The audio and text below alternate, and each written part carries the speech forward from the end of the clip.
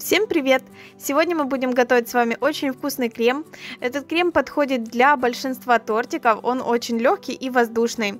Это у нас будет творожный пломбир. Сам крем очень пластичный и при этом он еще набирает плотности после остывания. После остывания не можно сделать даже вот такие вот несложные вензеля на тортике, либо выровнять боковушку и чем-то ее там присыпать, украсить по желанию. Этот крем довольно стабильный. Делается он несколько этапов. На первом этапе нам нужно смешать молоко, сахар, желтки и крахмал в одной емкости, поставить ее на огонь чуть ниже среднего и при постоянном помешивании доварить до появления первых пузырей закипания. У нас получается вот такая вот заварная основа. Ее нужно накрыть пленкой в стык и отправить до остывания полного.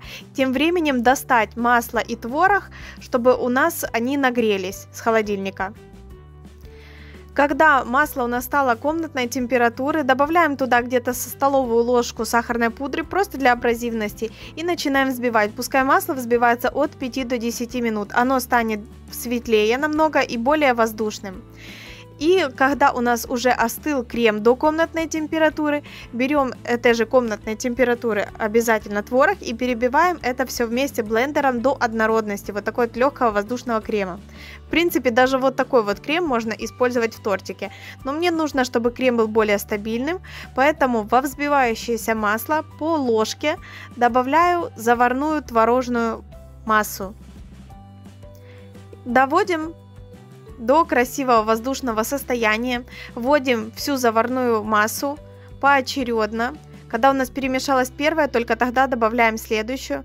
И после того, как мы добавили уже всю массу, получается вот такой вот объемный воздушный крем.